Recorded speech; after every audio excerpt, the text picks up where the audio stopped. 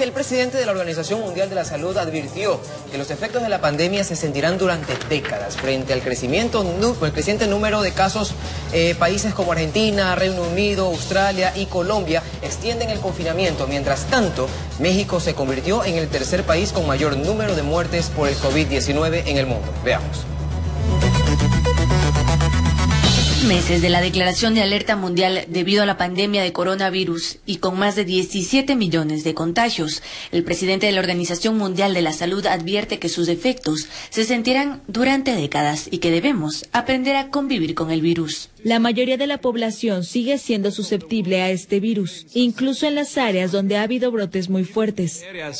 Pero en oposición a las recomendaciones del organismo, en Berlín, la capital de Alemania, y en Buenos Aires, en Argentina, se llevaron a cabo protestas en contra de las medidas de confinamiento. En este último, su presidente anunció que continuarán los subsidios para el pago de salarios en las empresas y el ingreso familiar de emergencia para los sectores vulnerables, pero se extenderá la cuarentena. Hasta el 16 de agosto vamos a mantener las cosas como están hoy. En los últimos días se nota que el virus está circulando más y se detectan una mayor cantidad de contagios.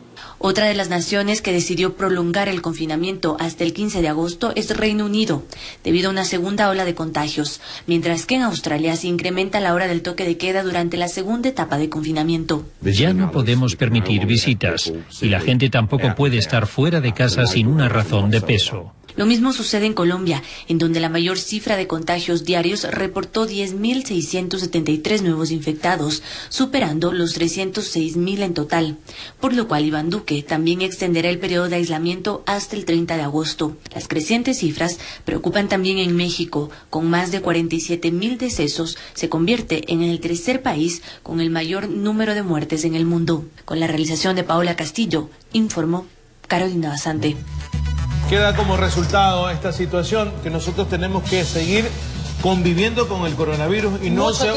De largo, dicen tres décadas. Para mí esto será para toda la vida, así como la gripe. Cuando nació la gripe y obviamente nosotros ya tenemos un resfrío o estamos ya controlando la gripe, ¿no? Inclusive hay vacunas de gripe que sin embargo mutan y vuelves a tener... Pero tenemos que aprender a vivir con eso. Tenemos que convivir con eso, no hay ninguna otra manera, ninguna otra forma.